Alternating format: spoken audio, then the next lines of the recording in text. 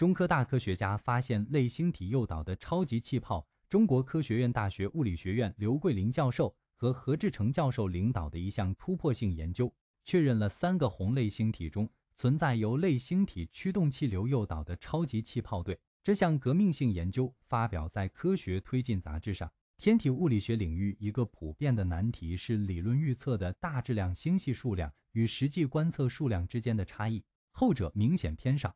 暗示着可能存在抑制恒星生成并控制星系增长的机制。为了调和这种差异，理论学家提出了气流机制，认为在类星体高度活跃的阶段，星系核会将大量气体喷射到星系际空间。然而，在过去一直缺乏实证这种气流机制的证据。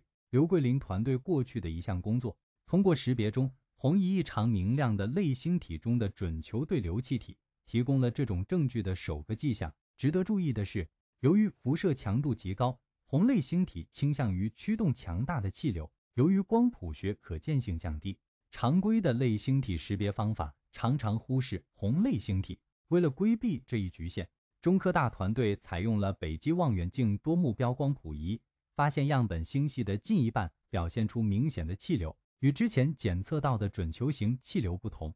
这些新发现的气流呈现为辉煌的超级气泡对。其中最大的一对横跨惊人的六万光年直径，限速达到一千二百公里每秒。这些超级气泡起源于强大的类星体驱动气流对星系气体的冲击，目前处于短暂的突破阶段。在这个阶段，它们逃离星系核心稠密的禁锢，进入星系运。团队进行的补充数值模拟强调，这种外流气体的动能可能是影响母星系演化轨迹的关键因素。从理解气流机制的角度来看。